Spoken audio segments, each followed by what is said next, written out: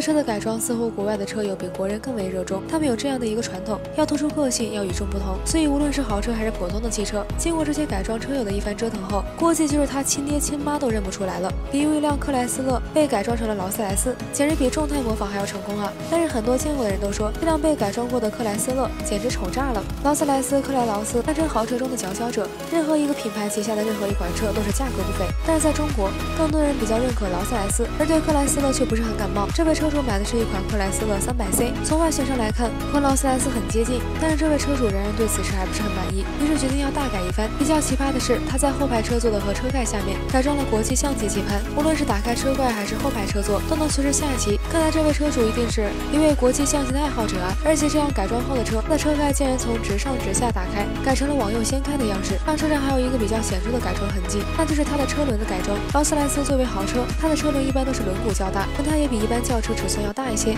克莱斯勒也是如此，经过改装，这辆克莱斯勒的车轮完全是和跑车车轮成为了一个档次，看着相当炫酷。这位车主对这辆豪车的改装花费了七万元，但最后出现了这样一款车，是否比较符合车友对豪车的认识呢？估计经过这么一改装，网友纷纷表示丑剧。原本对克莱斯勒没有偏见的车友，恐怕从此以后就更加看不上克莱斯勒了呢。